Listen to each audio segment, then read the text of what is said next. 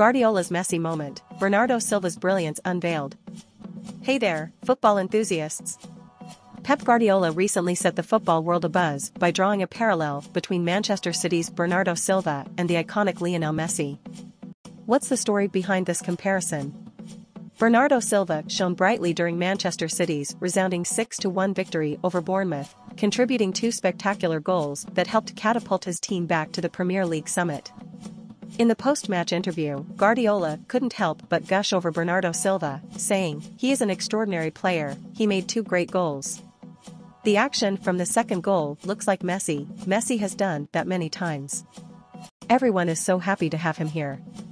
The comparison to Messi, the footballing legend, carries immense weight.